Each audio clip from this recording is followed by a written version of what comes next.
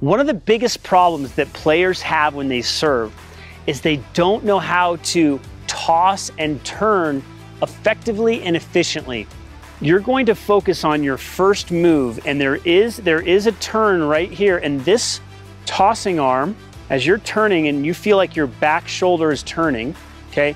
Notice how this tossing arm comes down comes down towards the front knee like this. That's when we wanna let go and we wanna let this arm, this back arm turn or, turn or this shoulder, back shoulder turn.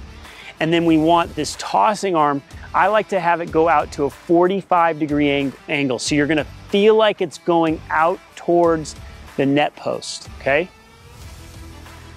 And you wanna just practice that, right? You wanna feel like your back shoulder is turning. Notice how nothing else is happening. I'm not bending my knees. I'm not doing all these extra movements. All I'm doing is turning my back shoulder like this.